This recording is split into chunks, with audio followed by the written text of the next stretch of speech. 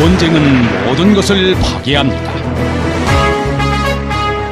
하지만 인간을 사랑하고 정의를 지향하며 악을 징벌하려는 사람들의 정신력은 그 속에서 더 강해집니다.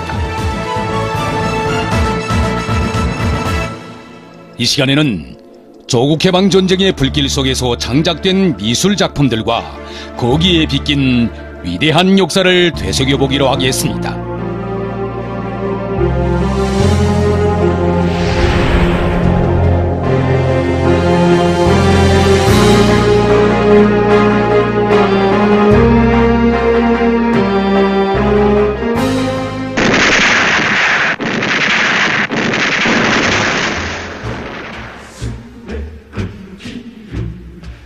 침략자 미제에 대한 불타는 증오를 안고 나무로 나무로 진격하는 인민군 군인들 속에는 유다른 무기를 둔 군인들이 있었습니다.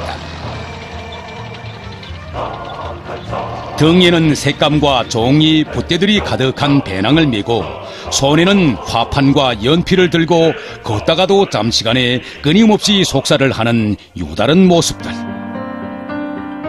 그들이 바로 위대한 수령님의 각별한 믿음을 받아 하는 리성화, 정성찬, 정승교, 안일호를 비롯한 군사미술가들이었습니다. 그들의 가슴 속에서는 역사적인 방송 연설에서 우리 인민이 수행하여야 할 전쟁의 성격과 임무, 전쟁 승리를 위하여 나서는 과학과 방도들을 밝혀주신 위대한 수령님의 근엄하신 음성이 절절히 울리고 있었습니다. 우리 인민들과 인민군 군인들의 숭고한 애국심과 견결한 투지, 전국적 승리에 대한 확고한 신심을 가장 뚜렷이 보여줄 수 있는 작품으로 준엄한 이 전쟁에서 미술가로서의 사명을 다하리라. 혁명화가 리성화 동지와 함께 서울 해방 전투에 참가했던 군사미술가들은 모두 해방 직후 평양 학원에서부터 새조선을 위한 어, 미술 창작 활동을 하던 사람들이었습니다. 그들은 누구보다 먼저 민족의 태양 김일성 장군님이 초상화를 모시어 세조선 건설에 떨쳐나선 우리 이민들을 고마했고 그 조선인민군 제2차 예술경연대회 미술작품 전시회 15상의 영상미술작품들을 모신 수령형상 주제 미술작품 창작의 개척자들이었습니다. 그래서 그들은 해방된 서울에 위대한 수령님이 초상화를 모시기로 결정하고 수령님이 영상을 모신 초상기를 창작하였던 것입니다. 바로 이 미술 작품은 그날의 사연을 그대로 담은 유화 남녘의 환호입니다. 리송화 동지를 비롯한 군사 미술가들은 위대한 수령님의 초상기를 방송차에 모시고 해방된 서울 시내를 돌았습니다. 서울 시민들은 수령님의 초상기를 우러르며 김일성 장군 만세를 소리 높이 불렀습니다.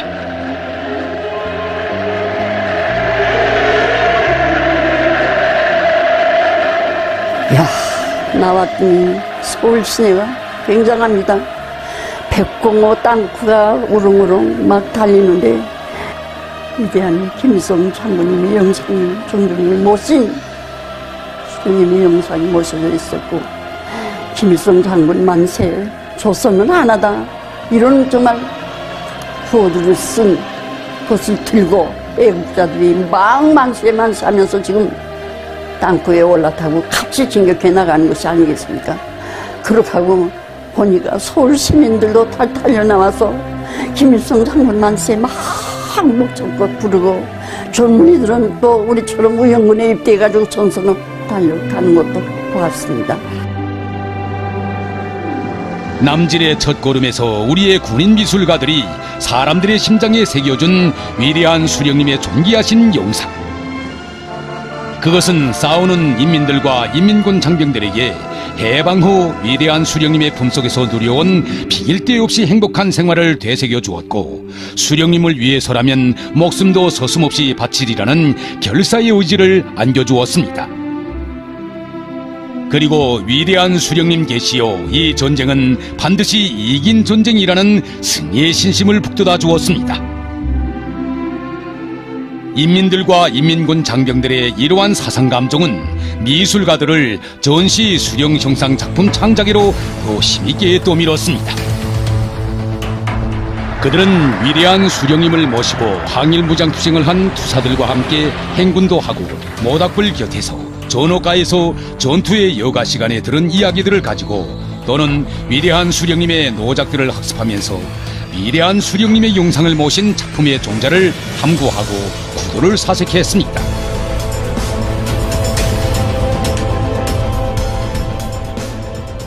당시 인민군 부대들에는 사회에 있던 종군 미술가들과 무영군 출신의 미술가들도 있었으며 미술대학에서 공부하던 단원생들도 있었고 적들과 싸우면서 화손 미술 창작 활동을 벌리는 젊은 미술 애호가들도 많았습니다.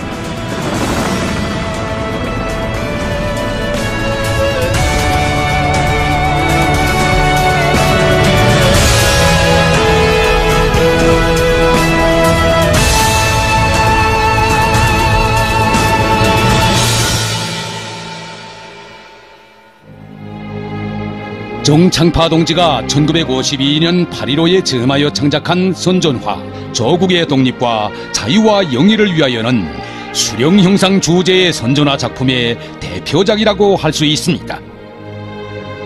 원경으로 펼쳐진 하늘에는 위대한 수령님의 손길 방향으로 비행기가 날고 땅 위에는 공화국기를 앞세우고 돌격하는 땅쿠와 대포, 인민군 장병들이 생동하게 형상되어 있으며 전진하는 땅크와 인민군 장병들의 구두발 밑에는 저주로운 미국 성조기와 철갑모들이 나뒹굴고 있습니다.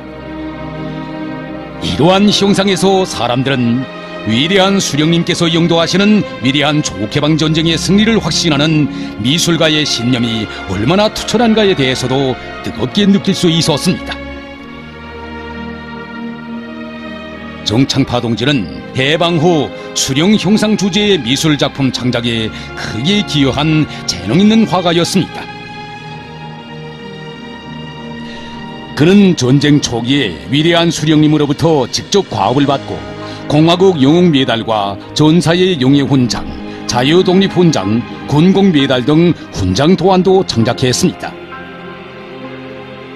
전쟁에 한창 가요라던 1952년 7월 22일 예, 정창파 동지는 뜻밖에도 이제 하실에서 위대한 장군을 만나 뵙고 치와 검을 받는 이런 영광을 지냈습니다. 예, 그날 정창파 동지는 정말 잠들 수가 없었다고 합니다. 어린 나이에 이제 아버지와 함께 이역당의 살길을 찾아 가끔만 제 나라도 없고 민족도 없고 더욱이는 이제 아버지를 이역당에서 잃고 혼자서 이제 창파마리를 헤쳐가야 한다는 이런 의지로부터 이제 자기 이름을 원래 이름이 신예균이었습니다. 신예균이던 것을 이제 그런 의지를 담아서 정창파로 이렇게 거쳤다고 합니다. 이러한 글을 품에 안아주고 키워내서 주신 분이 위대한 수령님과 항일이 내성용 김정숙 어머님 씨였습니다. 악은 선을 이기지 못한다. 위대한 인간이신 김일성 동지 앞에 악의 제국은 꼭 무릎을 꿇고야 말 것이다.